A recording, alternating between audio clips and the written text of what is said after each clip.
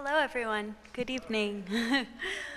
Welcome to the National Museum of Asian Art on this beautiful summer day. My name is Emma Natalia Stein, and I'm one of the curators here at the museum. My area of focus is South and Southeast Asia. And tonight's dedicated in part to Southeast Asia, with musical performances and Indonesian food outside, and a major exhibition on Cambodia just downstairs. It's because of that exhibition that we're all here right now. And it's my great pleasure to introduce our speaker, Sonya Rhie Mace. Sonya joins us from the Cleveland Museum of Art, where she conceived and developed the original presentation of Revealing Krishna, Journey to Cambodia's Sacred Mountain. It's no exaggeration to say that Sonya is a giant in our field. She has contributed major scholarship, groundbreaking exhibitions, and international partnerships for more than two decades. She also fosters the next generation of specialists by regularly lecturing and teaching in universities. Before joining the Cleveland Museum of Art, Sonya was the curator of Asian art in San Diego, where she was in charge of the renowned Edwin Binney III collection of Indian paintings. In 2008, one of her noteworthy traveling exhibitions was titled Rhythms of India, Art of Nandalal Bose, organized in conjunction with the National Museum of Modern Art in New Delhi and the Philadelphia Museum of Art. Sonya then became the George P. Bickford Curator of Indian and Southeast Asian Art at the Cleveland Museum in 2012. During her first two years there, she mounted the exhibition Tantra in Buddhist Art, curated the museum's collections of Indian, Southeast Asian, and Himalayan art in the newly renovated galleries, and secured a major acquisition of Mughal and Deccan paintings that became the subject of an exhibition and publication for the museum's centennial year in 2016. Sonya has been active in research, restitution, and reconstruction efforts pertaining to the Cleveland Museum of Art's important holdings of Cambodian sculpture. In 2017, her exhibition, Beyond Angkor, Cambodian Sculpture from Banteay Chhmar, featured a relief carving from a 12th century temple enclosure wall, now housed in the National Museum in Cambodia. This unprecedented loan resulted from the signing of a cultural cooperation agreement with the Ministry of Culture and Fine Arts of the Kingdom of Cambodia. Her most recent exhibition continued to deepen and build upon this relationship.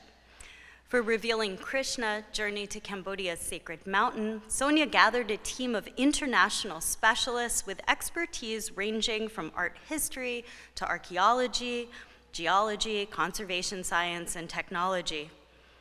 The exhibition and accompanying publication center on a new restoration of the museum's monumental stone sculpture, Krishna lifting Mount Govardhan, set in the context of the site from which it came through immersive digital experiences and innovative design. Although she has deep expertise in Indian court painting, her interest in stone sculpture began with her doctoral research at Harvard.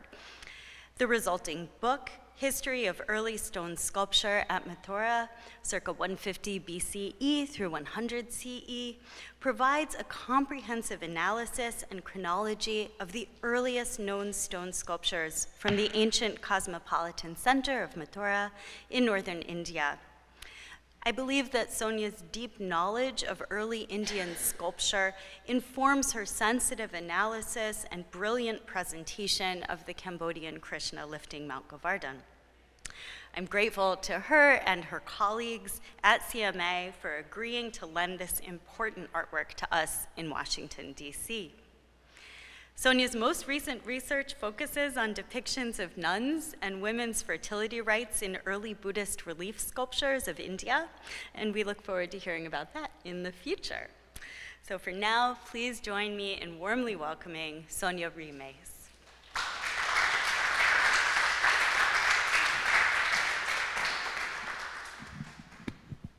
Oh, thank you, Emma, for that all too gracious and flattering introduction. It is such an honor to be here in our nation's capital uh, to talk to you about this sculpture so beautifully installed downstairs in the Revealing Krishna exhibition. And I'm grateful for the opportunity to share with you today the things that this sculpture has taught me about who this God Krishna is and has been for many people for the last 1500 years, where it came from, and what it, how it was integrated into the specific land and site um, of southern Cambodia, the Mekong Delta region of peninsular Southeast Asia. And then I will conclude with talking about the role of museums and what museums do and when they work together and collaborate in order to bring forward to the public and to you all everything that we are constantly in the process of learning. So, who is this beautiful male figure, gently smiling, impossibly powerful, spectacularly modeled by sculptors of, from southern Cambodia who, before this time, around AD 600, scholars still are debating hotly about the date of this piece and its related, the related sculptures. Uh, so we say circa 600 plus or minus 50 years. So it could be mid 6th to mid 7th century. Like I said, we still have a lot to learn. Um, but uh, this sculpture that was uh, that has come from southern Cambodia, who is this figure. So I'm going to start actually with some paintings because from that time period of the late 6th to early 7th century, there are actually very few examples that vividly express what Krishna meant to the people who worshiped him. So I'm starting with these two paintings, one from the Cleveland Museum of Art and one uh, from the collection here at the National Museum of Asian Art that shows Krishna in his eternal and cosmic form.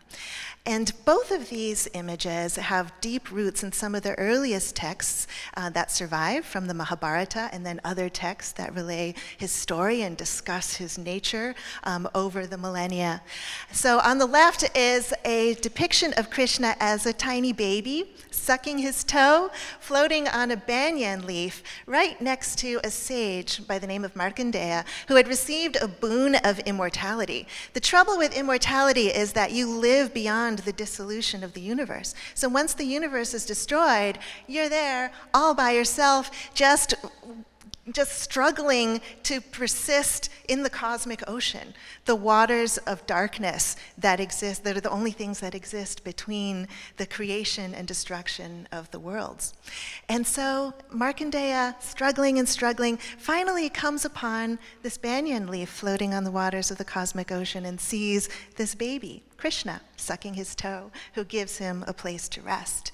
And then Krishna is also this powerful figure known as Vishvarupa, which means the, uh, the all pervading forms. He is the form that can only be seen with a divine eye um, because it is a form that is so powerful and so intense that we can't handle it. When his devotee Arjuna is given the divine eye to see this form of Krishna in his cosmic form, and he sees everything that's ever been created just flowing out of him and back into him through time, gird in all of the gods and, and, the mountains of the world. He is the form eternal that shows every the every powerful implement and is just the encompasser, maker, and destroyer of everything.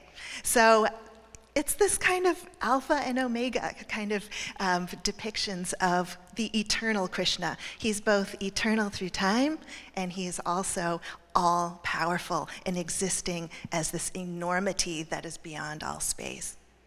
So, this eternal being recognized as Krishna has come as a human being born into the world and with a life story. And this life story has been told by uh, in, in, various uh, works of literature, poetical works, um, early ancient scriptures, and so there are numerous stories um, that are that are that are told that basically follow the same life story, but there might be different emphases and different um, different points of detail, but they basically agree that he was born um, in the northern Indian city of Mathura to the wife of a demonic wicked king.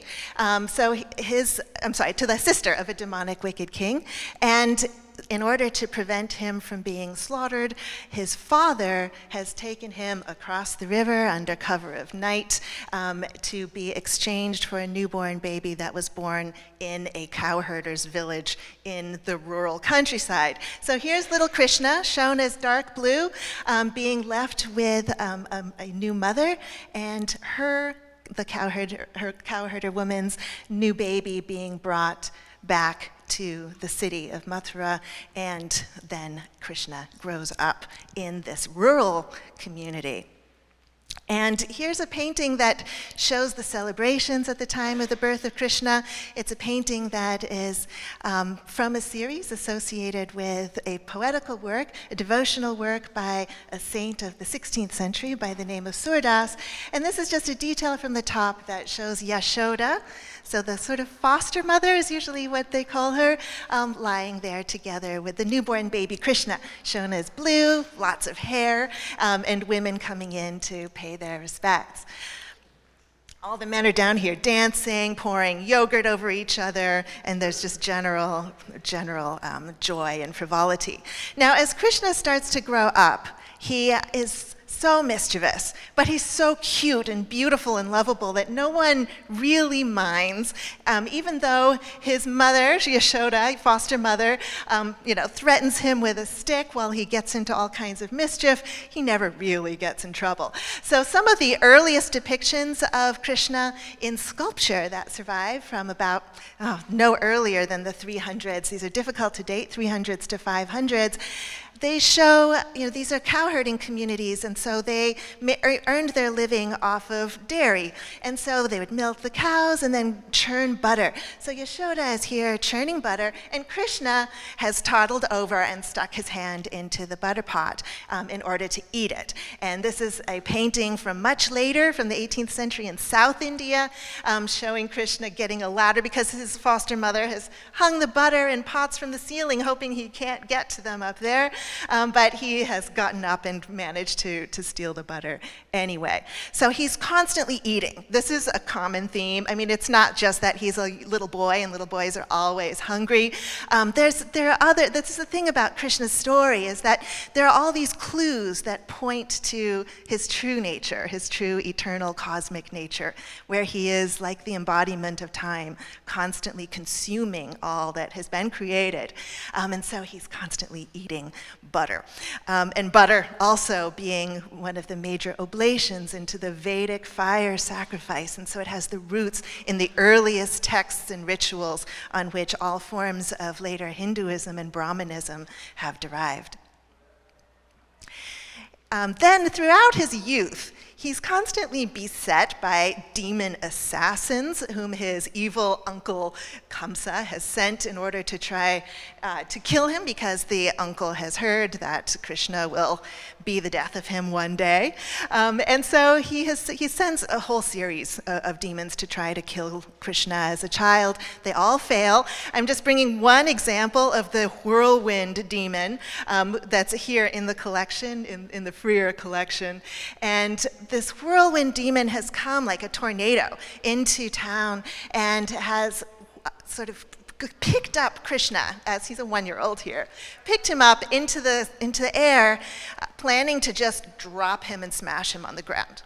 Um, Krishna, however, secretly makes himself so heavy that the wind can't bear him up anymore. So he alights down and is completely fine, much to the relief um, of his foster mother and the other cowherd women.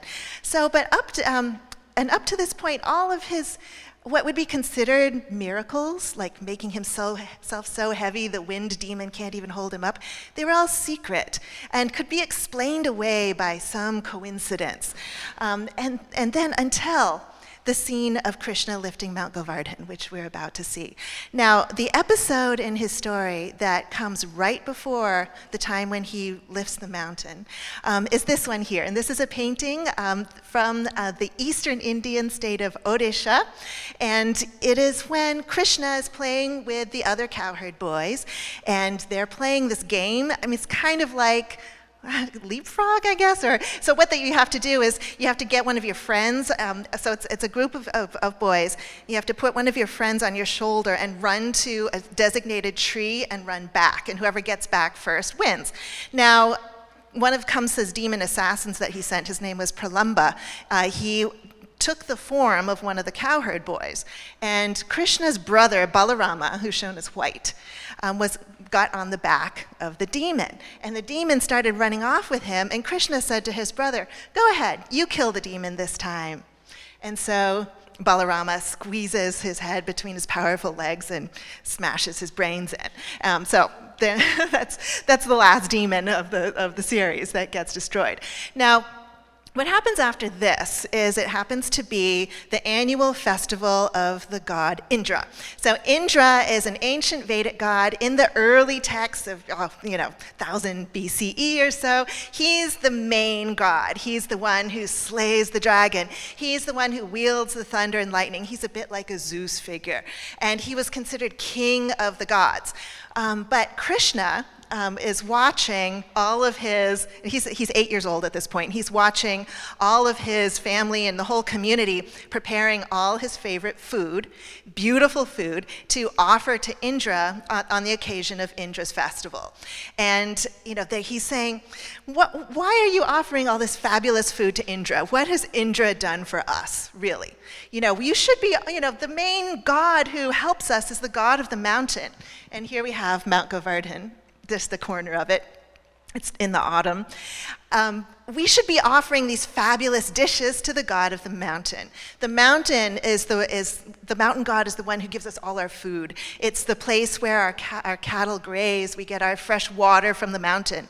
So he convinces everyone, and everyone says, You're right. And so they divert all of the offerings away from Indra to the god of the mountain. Now, secretly, Krishna turns himself into the god of the mountain and eats all the food. Well, so there are two Krishnas at this point Krishna, little boy Krishna, and Krishna, mountain god. And um, Indra becomes furious. And so he still can wield the thunderbolt and the lightning and control the storm clouds. And so he's brought all of these storm clouds, this painting from northwestern India, where you know, you see these kind of personifications of storm clouds in the sky, and they're kind of tossing rain down on the cowherd community, and everyone's miserable. Cows are drowning, all their houses are getting washed away, and so they're all huddling, you know, under, under these cloaks. And Krishna says, all right, enough. And he comes over and picks up Mount Govardhan and holds it up as a shelter for the entire community. I'm showing you paintings from all over India in all different time periods, just so you can see the, the wide sweep of his influence. Um, so this is a painting from the imperial Mughal court, probably made in Lahore, which is in present-day Pakistan. Um, and it's from a text called the Harivamsha, or the genealogy of Vishnu. And Krishna is shown here holding up Mount Govardhan, and he holds it up for seven days and seven nights. So a full week, and it's raining, and it's storming, and everybody is sheltered underneath. Now, this particular scene of Krishna lifting Mount Govardhan, which is what we, this, the, the posture that we see in the sculpture downstairs, the Cambodian sculpture, is an extremely important pivotal moment in the story of the life of Krishna for several reasons. So, it's the first time that all of the people who know him understand that he's actually divine, that he's a god, that he's superhuman. Even though he seemed incredibly special in the past, as a baby, as a child, at this point now, they can't explain this away by any coincidence or any other means. Here he is, an eight year old kid, holding up an entire mountain completely effortlessly for a week. And so there's no doubt that he's a god. And so um, priests and even are shown right here, and, uh, and all the members of his community who's know, known him his entire life, they want to worship him now, and Krishna will not allow it. He said, treat me as you have always treated me. Um, another thing happens and that's a turning point at this, in this episode, is he starts to become interested in girls. So everything, all the episodes prior to this are all about games, hanging out with the guys, going, you know, cowherder, cow, you know, boy games and, and slaying demons, kind of swashbuckling boy stuff.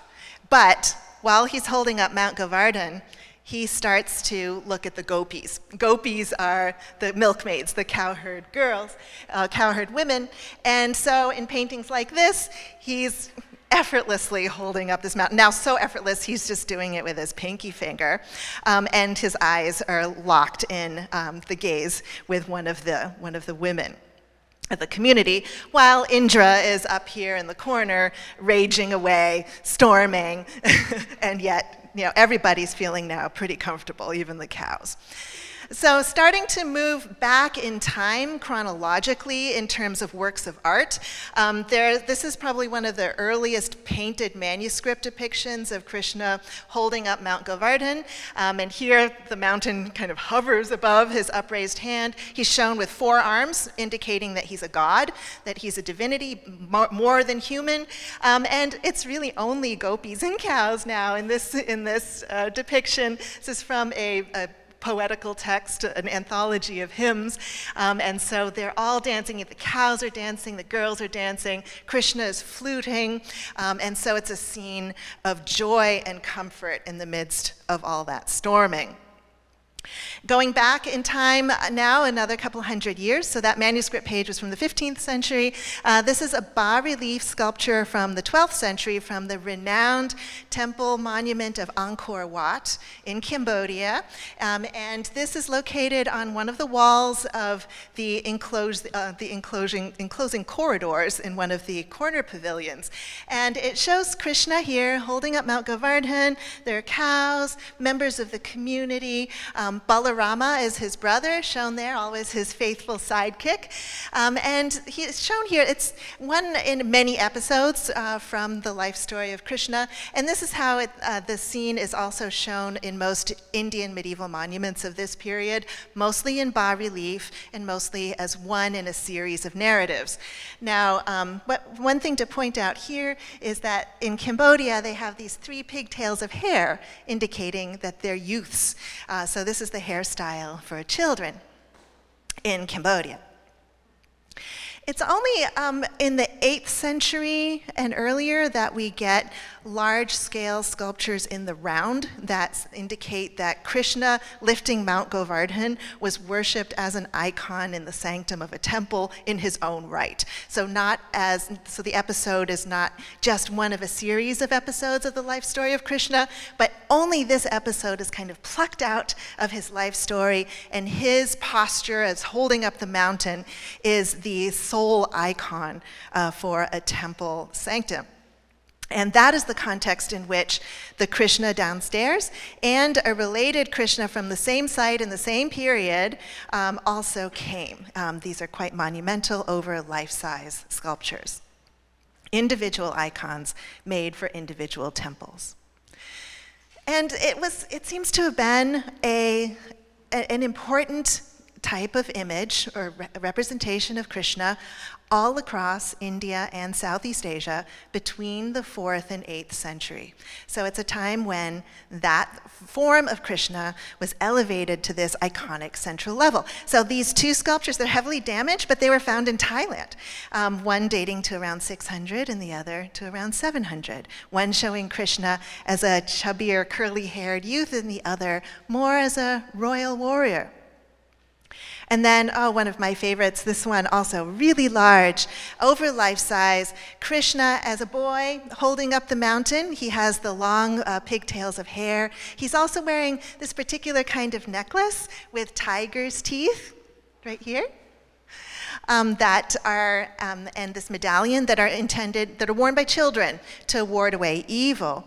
Um, and in the Indian depictions, um, Krishna's mountain is carved as an integral component of the monolithic stone sculpture which is not how we see it in Cambodia. Um, in India, the mountain is part of the sculpture. So this sculpture was set up on the banks of the Ganges River, where there are no mountains, um, but in a temple uh, in Varanasi in northern India. And then from the, in the early 7th century down in the south of India at the rock cut site of Mamallapuram, um, there's a form of Krishna where he looks much more grown up. Um, he has a high crown um, and he is holding up the mountain, much like the Cambodian Krishna does. Uh, the gopis are seen by him.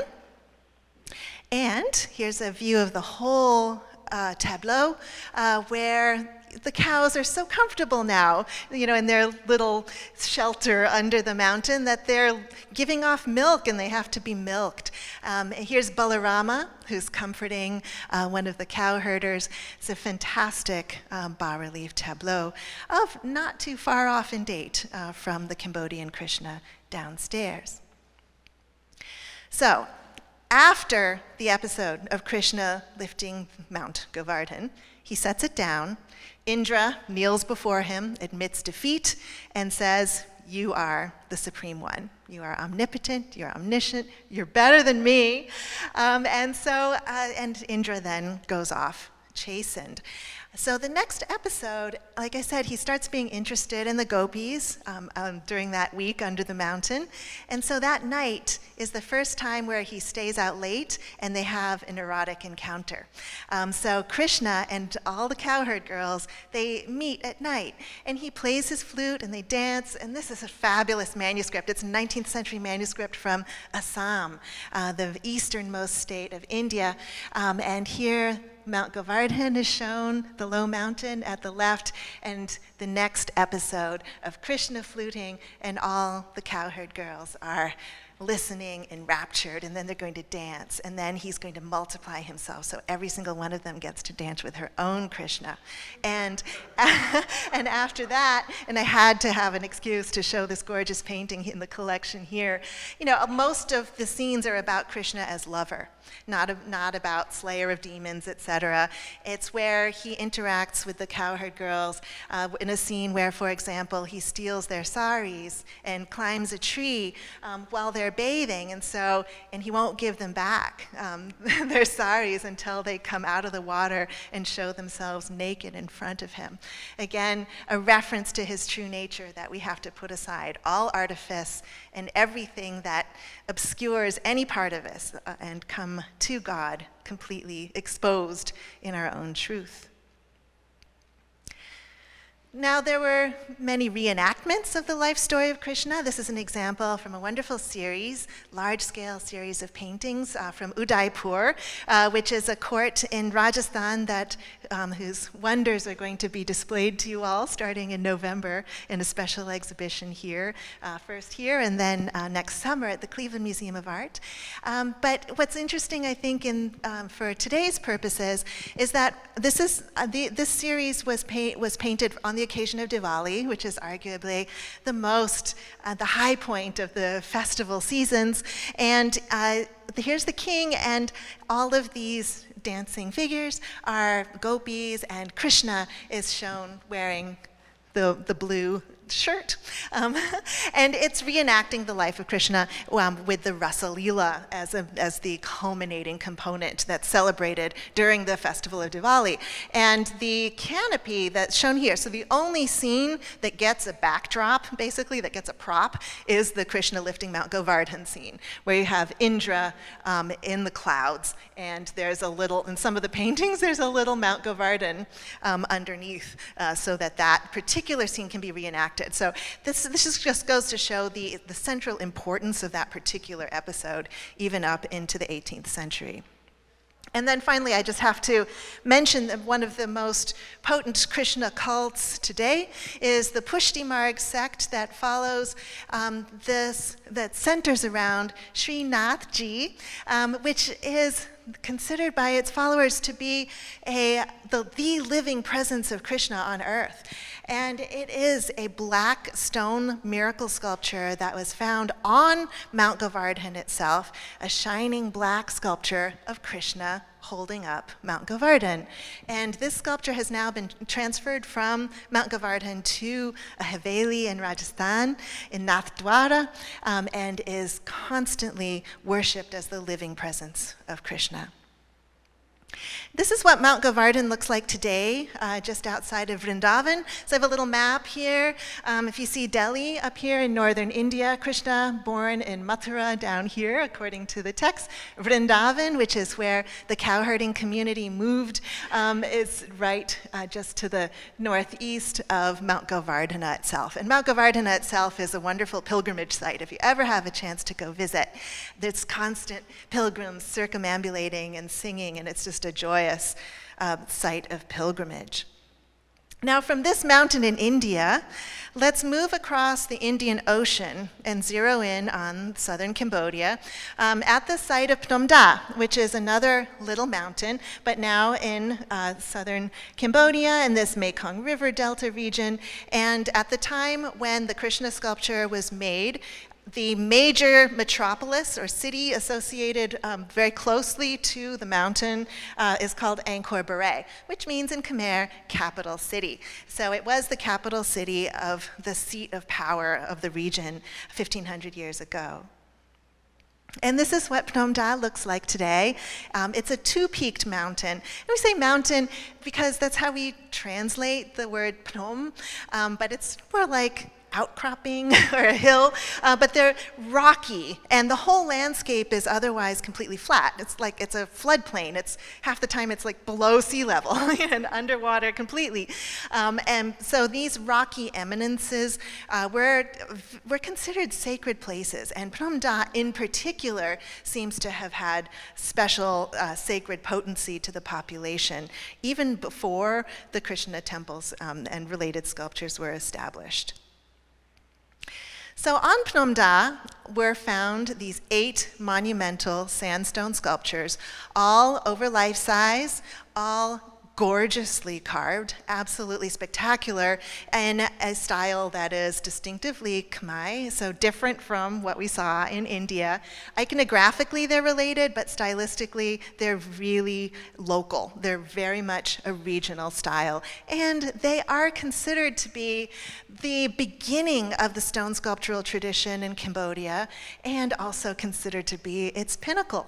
That for sculpture, the Phnom Da style is considered to be the highest. It's like it started with this first flush of inspiration and talent, and it continued to be fabulous, but somehow the naturalism and power of these early Phnom Da sculptures are all, will be unparalleled. And as time goes on, it seems like there is more attention given to monumental works of stone architecture and less, less care given towards the centrality of individual sculptural icons in comparison to this early period where the architecture was mostly all brick um, and stone uh, was uh, the stone was primarily reserved for the icons in the sanctum. And this, this particular sandstone was really special. It is not a local sandstone. It was imported from we don't know where, but it could be really far away because everything is connected by waterways. But we know that it was specially sought after since it is nothing like any of the stone in the region. So all eight of these large-scale gods were found on this two-peaked mountain. So these two Hariharas were found on the southwestern peak, which is a slightly lower peak. So we're not going to talk about those too much today because they're kind of their own thing. But on the northeastern peak of Phnom Da, on the top is an eight-armed Vishnu, which can be interpreted as his all-powerful form. And then in five caves that are man-made caves um, on the side of the mountain, the northeastern peak of the mountain, were five avatars or incarnations of Vishnu on earth. So it's like the, it's like on, in the structural temple on the top of the mountain was the, the cosmic form of, of God. And then in the earth itself, in cave temples, were his forms as they are on earth, right? So human forms on earth. So here's a view of the temple at the top of the mountain as it looks today. Um, the roof collapsed here and buried that huge nine foot tall Vishnu under the rubble. So it wasn't known at all until, uh, until 1935 and uh, when it, the, the, temple was cleared out. Now, this form of the temple was expanded in the 11th century. It was, it was smaller and made only of brick um, in, in, the 7th century when, uh, when the Vishnu was first installed. So, this is the view of the top of Phnom Da. Inside the temple, after it was cleared out, there's this massive pedestal that the Vishnu once stood upon. And I have a little video here to show him all around.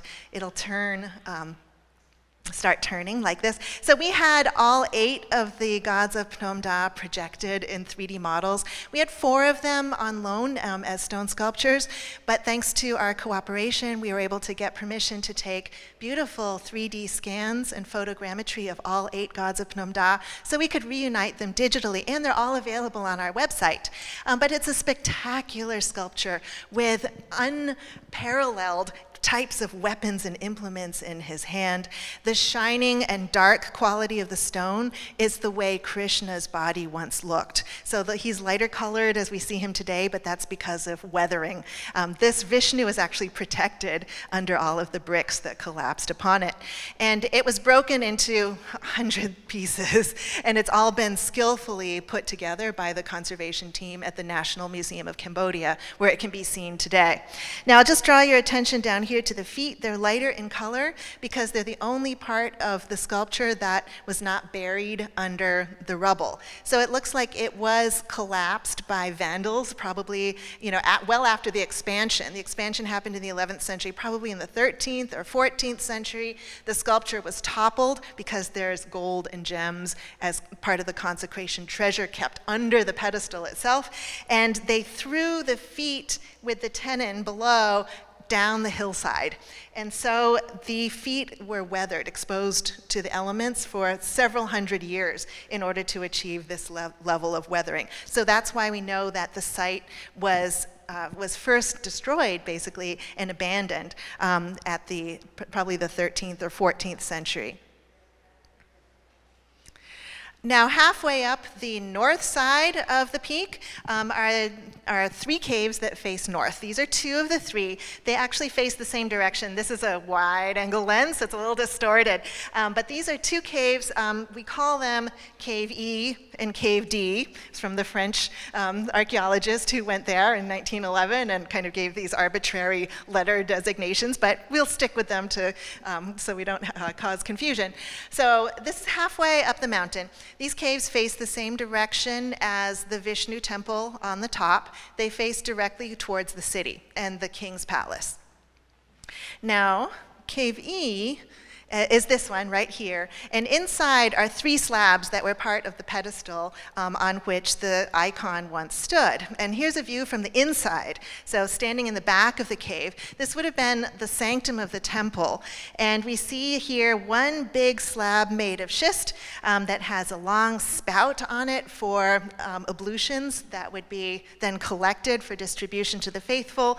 It was looks like it was taken off the initial um, stack here um, because there's one slab that's probably missing and they would have all piled up. This would have been the top slabs. The lower slabs are made of sandstone. Now, our conservator made a model of the tenon. This was in the Cleveland Museum of Art. And so we made um, a foam model of this part of the tenon that sits into the pedestal. And it fits exactly the mortise hole of the top of the pedestal in Cave E. So assuming that no one moved these like half ton slabs of stone, they were really, really big, um, that they, you know, assuming no one moved this from a totally different cave temple or temple somewhere else, um, we can deduce that whoever was standing on these feet was the divinity worshipped in this cave. Um, and that would be the Krishna sculpture, Krishna lifting Mount Govardhana, that is in the National Museum of Cambodia in Phnom Penh. So I'm going to call him the Phnom Penh Krishna for the sake of clarity. So this was actually the main avatar. He's directly below Vishnu, he's the central of the five caves, and he would have stood here. So we think. That's the best evidence we have. Um, and then the adjacent cave, known as Cave D, it still has the sandstone facade. So Cave E would have had a facade like this as well. Um, and so the sandstone was built into the facade. And there are these um, slabs in front that were part of a doorway that was part of a brick vestibule that was built in front of the cave. So the caves would have looked more like structural temples originally. Um, and inside, they've recently put a new floor of tile and a concrete altar, so that's really new. Um, this is the first photograph that was taken of this cave in 1911 uh, by a French archaeologist, and it's the first photograph taken at Phnom Da at all. It's a glass plate, and it's in terrible condition. Someone like put their finger on it, and I don't know what they had for lunch, but the, the thumbprint is still there. Um, it obscures what's left of the brick uh, wall of a vestibule, um, and so basically the local population, you know, they're great bricks, and so they would use them for for other purposes. So they're pretty much gone now, except for some that are still way at the top. But this, at this time, uh, the doorway, the door jamb into the vestibule was still standing, so you can see um, that it's there. And note here, this is 1911, um, there are Chinese characters here a new community of Vietnamese Buddhists moved to the site sometime between 1900 and 1910. Uh, the last description we have, report that we have from the site is from 19, someone who went there in 1900, and there was no evidence of any community living there. But by 1911, when Parmentier went, they had moved there, and they had cleared out this cave, which the previous report of this cave, the very first actually, no photograph, but description, description, secondhand description of a Mr. Pierre Silvestre, who was, the, who was the director of the botanical gardens in Saigon. He went exploring on Phnom Da, and he saw, and he describes this very specifically, this a, a cave with these, this sandstone wall and the, this, a gateway with right angles, and he said, but scree um, filled it up about halfway up the doorway. And it was full of debris inside, um, and it was home to thousands of bats. And the combination of guano and water dripping from above has made it such that whatever mysterious and bloody rites took place in the cave are now, no evidence is all thoroughly um, invisible. um, but by the time Parmentier, so that was 1880, um, anyone who went there, there are two other people who went there in, who wrote about it. Um, it was uh, in 1882 and then 1900, they didn't see this cave. They only went to the structural temples um, and, or the other side of the mountain. Um, but in 1911, when Parmentier went, uh, what had happened was this Vietnamese Buddhist community had come and they cleared out this cave of all the guano and dirt and mess and they were going to repurpose it as a Buddhist shrine for their community. And, um, he, and they had placed in the back a sculpture um, that, that was well, I'll tell you in a second about what it was. Um, and that there had been another sculpture that was found that the villagers told the priest who told Parmentier was there and, it was, and they had it lying outside, but it was gone. So we think this is probably the cave of the Cleveland Krishna. Um, now, would the Cleveland Krishna actually fit in this cave? And so when we went there in 2019, um, our Cambodian team um, and I took thorough measurements of the cave and found that in the ceiling of the cave, there's this kind of overhanging notch left in the, left in the ceiling, the rock cut ceiling. Um, and then back from that, um, there's a notch carved into, like a kind of runway carved into the ceiling that gets higher and higher and higher. And the difference in height winds up being the difference in height of the standard pedestal um, of the time. And so we took all these measurements of the back, of the front, of the width, and the width would easily accommodate the width of uh, Krishna's upper slab So it is possible, but then how could they get a monolithic sculpture that's taller than the entranceway into the cave? So we did it, this is a draft, so forgive us that it's not perfect yet, but it gives some sense of how they managed to do it. Um, this, was, uh, this was developed in consultation with Cambodian conservators um, who have studied uh, the process. So they would fill up a ramp made of soil, take bamboo poles, and people would be on either end rolling the poles and pushing um, from the front um, this monolithic sculpture of Krishna all the way to the back of the cave. Um, and the pedestal, as you see, is already in place. And so you set the bottom of the tenon over the mortise hole of the pedestal. And then you start adding wedges into the back um, to start slowly, slowly tilting it up. Um, these are banana trunk planks that are there kind of like padding, like we would use foam padding so that the, it doesn't scrape, the sculpture doesn't scrape the pedestal below. So slow you, you have wedges, people with ropes pulling from the front, and then as it gets to the top, you use beams to slowly push it up and up. And then, the, so that's why you have to carve that notch out in the back of the ceiling so that there's enough clearance for the tenon to get up over the pedestal and then sink in. And then there's the overhanging notch in front that just comes to the height of the top of the, of the upper stele. And in that way, it gives Krishna this kind of built in look. So he looks like a pillar in the middle of the cave. And you can circumambulate the sculpture, and the uh, waters of ablution can be poured over his head, flow out of that spout. Um, and then the sandstone facade is added, and this is how we believe Krishna looked um, as he was installed in the cave. So, this is a wonderful new way that no other site has depicted a Krishna Govardhana like this, um, really built into the mountain, in the mountain that he holds up himself.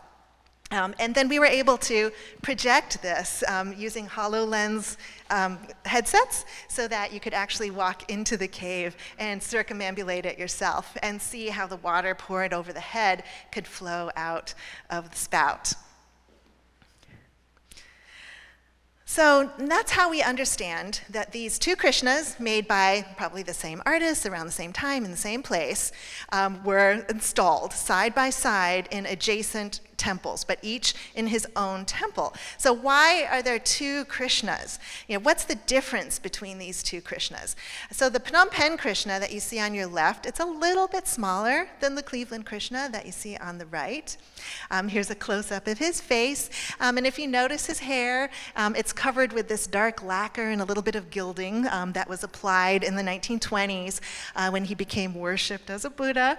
Um, but he, um, he has this child's hairstyle with the three pigtails like uh, we saw at Angkor Wat. Here's a view of the top. So there's, the pigtails themselves are broken. They're, you know, they would have been long and thin, so they break off easily. So, but these top knots were secured by these rings. So there are one, two, and three of them, which is the child's hairstyle. There's the one on his left side. This is just like we saw at Angkor Wat. They would have stuck up like that. Um, but the Cleveland Krishna has the hairstyle of a mature prince or a warrior, a member of the warrior class, which is ringlets of hair, um, and the, at the top um, is one, one um, pigtail of hair that's then uh, curled back and secured uh, by a, another golden, uh, golden ring. And that's a mature boy or man's hairstyle of the time period. The great Vishnu from the top of the mountain has those same rows of ringlets with the little bangs in the front. Um, and here's another video from our 3D model of Rama. So the other incarnation of Vishnu um, besides Krishna that was uh, previous to Krishna. And we can see how it looks in the back. It's more well preserved uh, than the Cleveland Krishna version just beautiful heavy rows of ringlets falling over the nape of his neck. So I think what we have going on here is, again, something completely unique to the Cambodian presentation of the Krishna's lifting Mount Govardhan, where we have Krishna as a child and Krishna as a man. And I, as I described earlier, uh, he came of age while he was holding up that mountain for seven days, where he went from being a boy interested in childhood games and killing demons to being a lover of the gopis.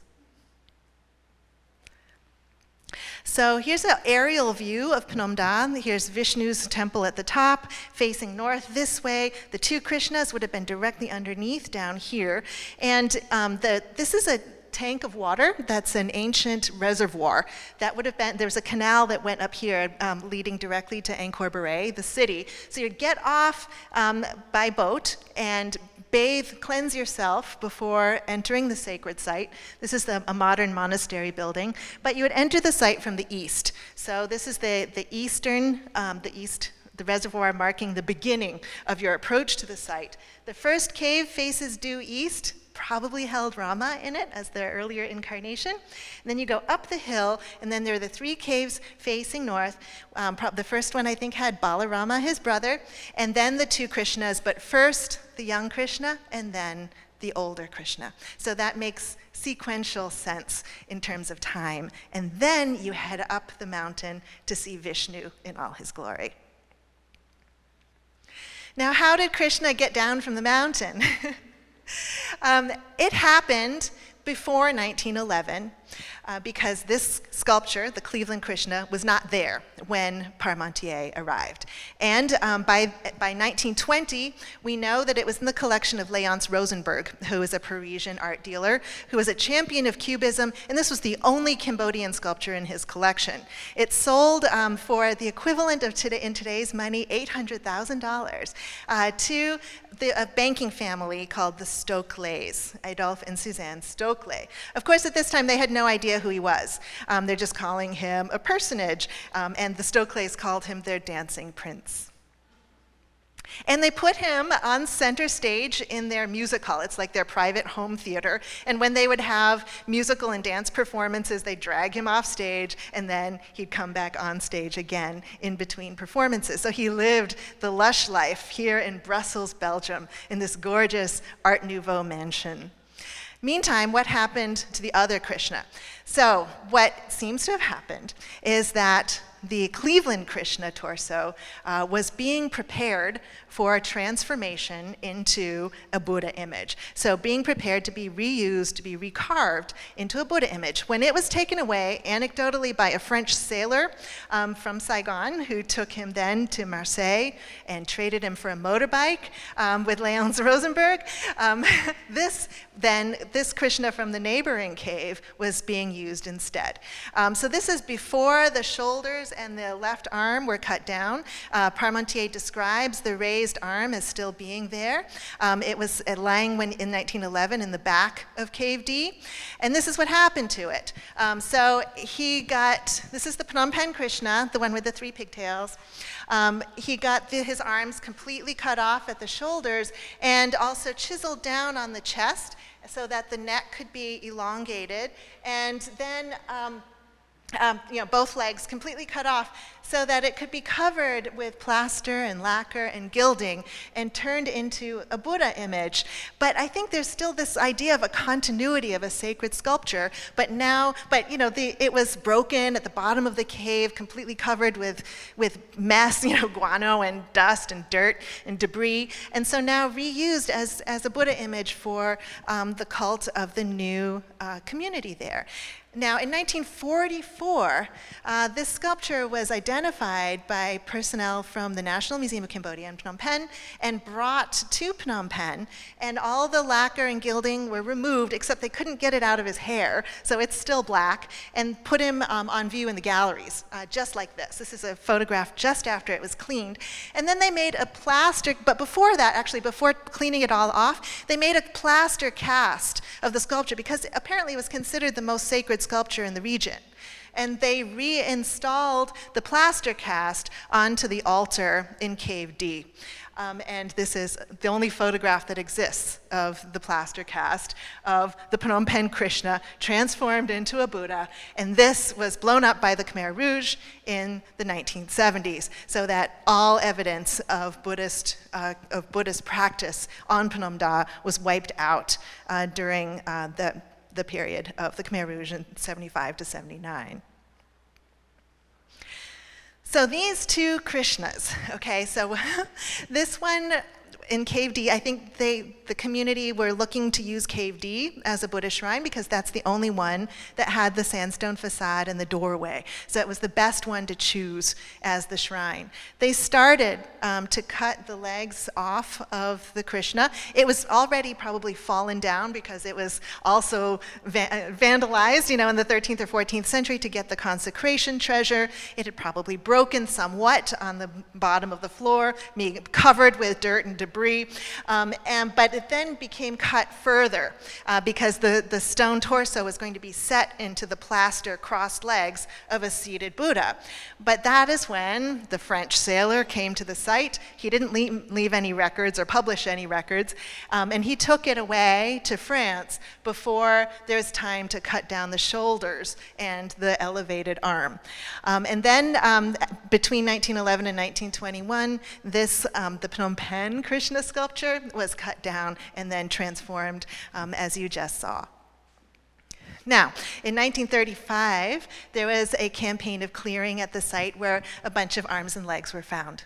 Arms and legs that were just in a heap, like a discard heap of, of stone pieces. There are 14 pieces, and Mauger, who was the, the archaeologist who found them, thought, oh, it must belong to the Stoclet Krishna in Brussels because he doesn't have any arms and legs. And so he packed them all up in crates and they were sent to Brussels, Belgium. But in the process, they broke the top slab and the lower slab into multiple pieces. So the upper slab with hand, as you'll see downstairs, is mended they, in order to fit it in the boxes. So they broke this in half, this slab into three pieces, um, and sent them all to Brussels. And then in Brussels, they tried to put it together, um, but dissatisfied, they abandoned the effort and buried the pieces in the garden.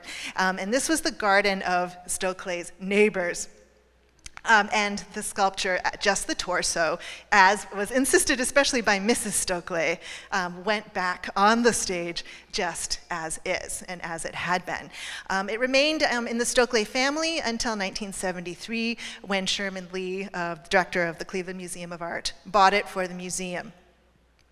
Now, Stan Czuma, who was my predecessor as the curator at the Cleveland Museum of Art, had read in early reports about the discovery of all these limbs at Phnom Da. And so he went and after a long time of trying to figure out what happened to them, discovered which garden the fragments were buried in. And in this photo, it's a terrible photo, but you can see one of Krishna's thighs sticking out of the edge of the garden. And so he ordered an excavation of the garden, um, promising that the museum would pay to replant everything just as it was. And they dug it all up and found all 17 pieces. He sent them all to Cleveland, and there they are just after they were unpacked and did the best they could in 1977 to 1978 to reconstruct the Krishna, the Cleveland Krishna, putting him on the legs and the feet that they felt worked the best. So that meant that there were uh, that there were, I think, nine fragments that weren't used. Um, and so this you see Stan in storage here with the, the upper stele with hand. And all those fragments got sent to Cambodia in 2005 to be attached to the other, the Phnom Penh Krishna torso. And so on the right is how you see it was reconstructed from 2005 until 2015. And then in 2014, Bertrand Porte, um, who's the uh, French conservator with the EFEO, the École Française d'Extrême Orient, they had a me memorandum of understanding with the National Museum in Phnom Penh uh, that he would train Cambodian conservators to take care of the sculptures in the collection. He noticed that there were some issues with the restorations, that like the tenon in the back of the hand didn't fit the back of the Phnom Penh uh, sculpture, and that there were issues with, you know, there's this huge huge fill here, attaching the hip of Krishna to the leg and this knee. And so we made some scans uh, we took uh, 3D model scans of all of the pieces of the Krishna. This is how it was installed. And here's our Hanuman before um, Cleveland uh, transferred it back to Cambodia. Um, made 3D printouts and to see how the handpiece would work with the Cleveland Krishna torso. It took us two years to take that restoration apart because they used epoxy and steel in the 70s. They never expected it would ever need to come apart. Uh, we were able to get scans and photogrammetry of the underside of the the Phnom Penh Krishna in Cambodia, and then using Meshmixer software, put the two scans together and see that the upper right leg that was in Cleveland matched perfectly with the groin, the lower right groin of the Phnom Penh Krishna. And so we effected an exchange uh, where we sent all of those pieces, packed them up, sent them back to Cambodia um, after making sure using the 3D models how the pieces should all go. Um, and they created created, completed the, the new restoration with the correct pieces on the Phnom Penh Krishna. Um, and then this piece that had been on the Phnom Penh Krishna, this lower leg piece, they sent back to Cleveland um, because it belongs to the Cleveland Krishna. So we had limbs flying back and forth more than once uh, between Cleveland and Phnom Penh. Um, but in our exhibition, um, in the Cleveland iteration, we were able to show both sculptures side by side, all finally with their correct limbs. and we used a lot of digital elements to explain the stories. And I'll just show you this short video that the, uh, the museum prepared.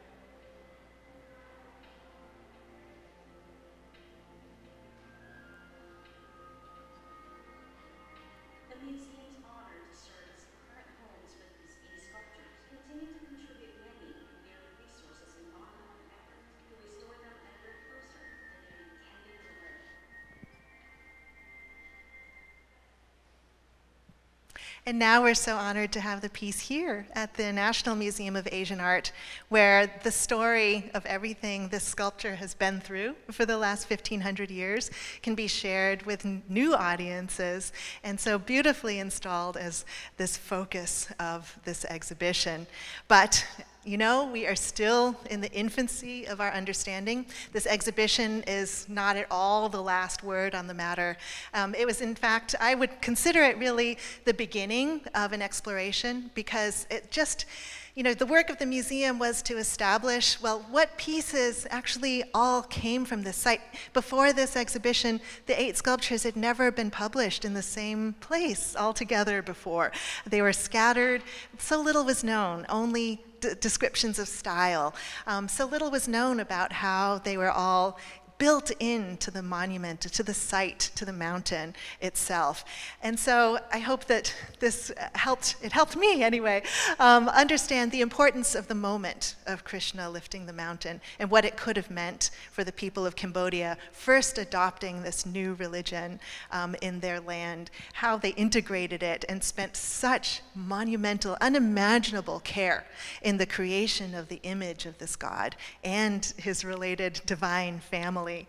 Um, and museums are able to join in cooperating with one another, to expend their resources, to generate research so that we can see what our ancestors were capable of accomplishing and what really mattered to them in the whole scheme of the whole life story of Krishna. Um, and to then be able to share it in compelling ways with the world. So I thank you so much for your time today, and I'm happy to take any questions.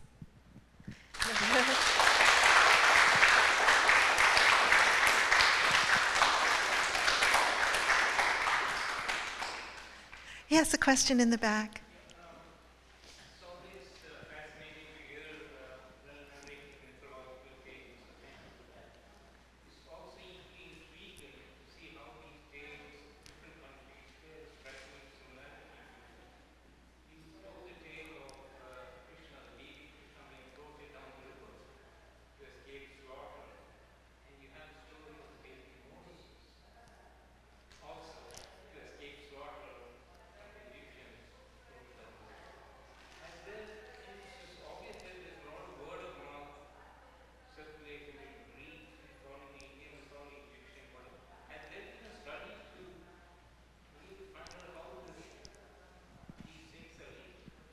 So I'll repeat the question very succinctly for the sake of the recording and anyone who didn't hear it. Um, but that uh, our, the question drew attention to the extraordinary similarities that we see sometimes between elements of, of mythologies, where, for example, Moses was floated down the river to escape slaughter. Krishna, too, had to be brought across the river to escape slaughter. Have there been any studies comparing the connections among them? Um, so, okay, I'm an art historian, I'm afraid. Not, I wish there were, I don't, perhaps there are some scholars of comparative religions. Um, so first I'll, I'll say that there are very clear correlations between, for example, Greek deities and, and those of India. Zeus and Indra are very clear cognates. Um, now, the Semitic um, stories and the Vedic or Hindu Brahmanical stories, that's a little bit harder to to connect necessarily. There could be an element of coincidence. It's hard to know what came, which came first. Um, you can't really trace a direct cause or like that a direct influence. Um, it's just really great to constantly draw attention to these similarities and then see if any evidence arises in the future. Um, there are certain elements that I think um, have been well discussed, especially the floods um, in the laws of, of, of, Manu and the early floods, and that these themes of the flood. I'm sorry I don't have references off the tip of my tongue, but I'm sure there have. There, I do know there have been um, excellent studies on these. Um, Deborah, do you have any suggestions for comparative mythologies?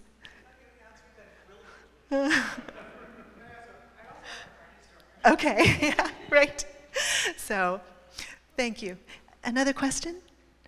Yes, in the back.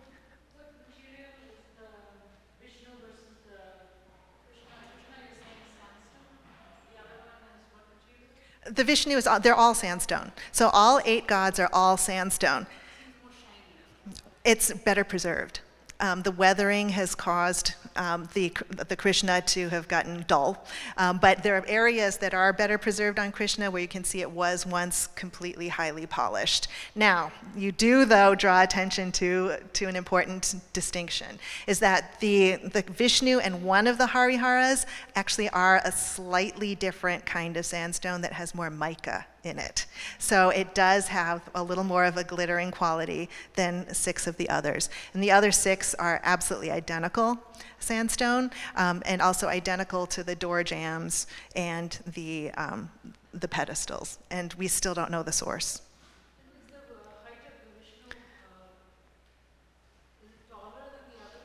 So the height of the Vishnu, yes, the Vishnu is the only one that is significantly taller than all the others. So the, the Vishnu, not including its base and pedestal, is about nine feet tall, and the other, all the other figures are about six feet tall. Yeah. Yes.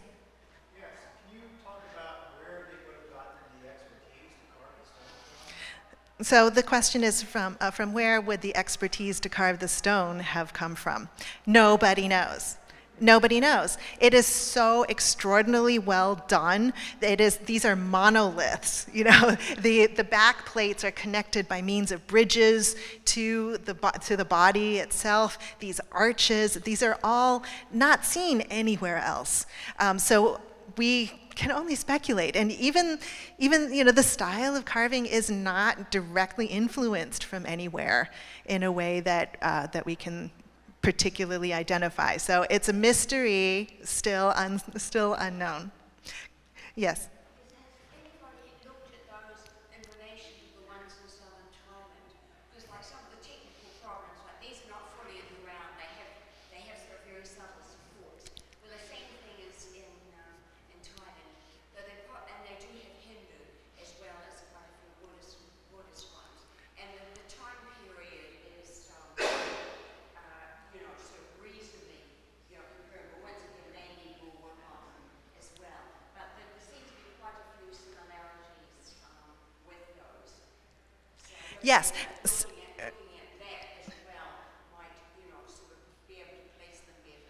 Yes, that's right. So, uh, so monumental stone sculpture started emerging in Thailand, Laos, Cambodia, Java, somewhat, um, but mostly, uh, I think, uh, mainland Southeast Asia during the same time period. So Phnom Da is the first site with this monumental stone sculpture in Cambodia, but yes, in Thailand and Laos, the same uh, was taking place.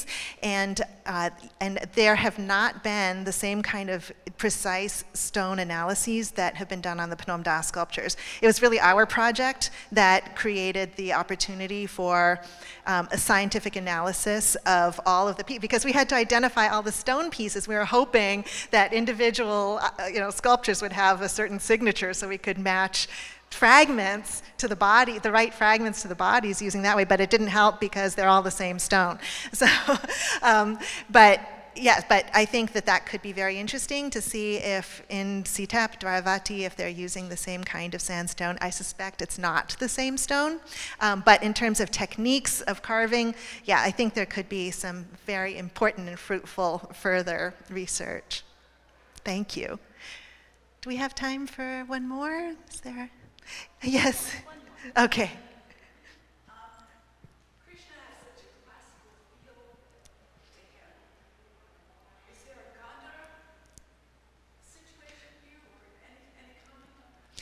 So the question was, Krishna has such a classical feel to him, and could there be any connections with Gandhara? So I think that's, that's a wonderfully insightful question.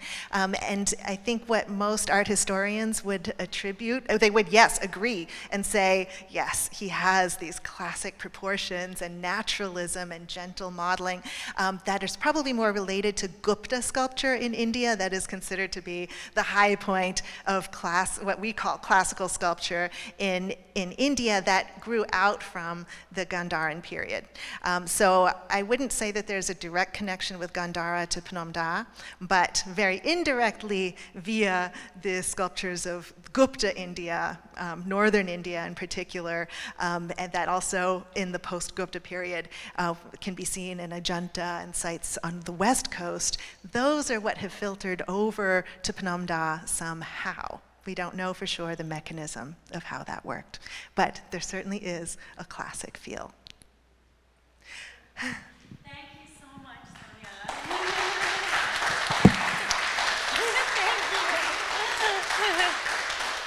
Thank you. That was so beautiful. And I think that what this talk showed us also is that beyond, even beyond an exhibition, what the benefits can be of a kind of sustained study, of a site, of an object, that the exhibition, as you, you so beautifully said, can be not the end point, but even a beginning to a larger project and a larger set of questions and new, new research, new information, um, and new possibilities and opportunities. So thank you so much. Um, Sonya and I will both be in the exhibition, Revealing Krishna, down one level now for probably the next hour or so, and we'd be happy to, to talk more um, in the galleries. So thank you all for coming. Enjoy the rest of your evening.